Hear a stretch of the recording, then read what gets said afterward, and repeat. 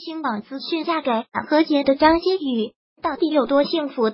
其实他本人是不愿意在公开的场合来聊这种话题，毕竟说多了也没有用，用自己军嫂的实际行动来表示最为可信了。而最新的情况传来，何洁不仅仅是把张馨予当公主一样捧在手心上，而且何洁的妈妈也完全认可张馨予，声称娶进门之后，全家都跟着沾媳妇的光。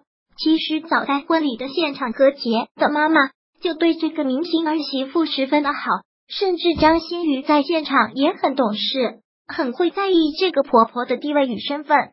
不仅仅是时刻在跟着婆婆打招呼，而且对自己的妈妈和婆婆也十分的好。婚前她就已经严格在要求着自己，而且自己看上的东西都不舍得买，赠给妈妈和婆婆买东西就毫不手软。当然，张馨予也很会照顾何洁的感受。毕竟两个人的收入差距十分的大，但张馨予很懂事，这一点从婚礼的现场就不难发现。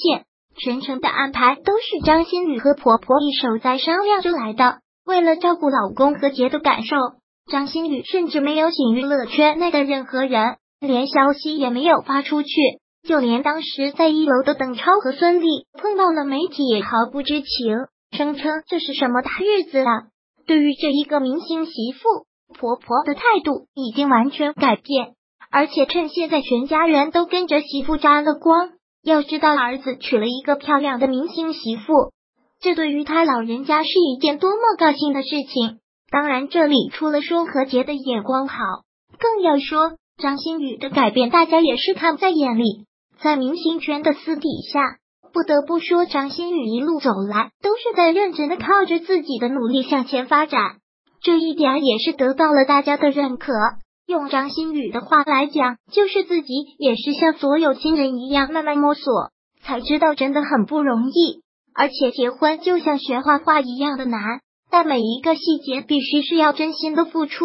在最后面，张馨予也特别的感谢贺杰，给了自己对未来幸福的期待，更要感谢父母亲对自己、婆婆对自己的认可，特别特别感谢你们。让我的婚礼更完美。婆婆对张馨予的认可就是最大的肯定，而且张馨予早前也在媒体上公开的描述过自己对未来生活的想象。她声称未来一个最好的状态是有两个小孩子，而且很少再去拍戏。不难发现，其实张馨予骨子里是一个顾家的女人。祝福她，也祝福何洁的妈妈和何洁，希望他们大家庭越来越好。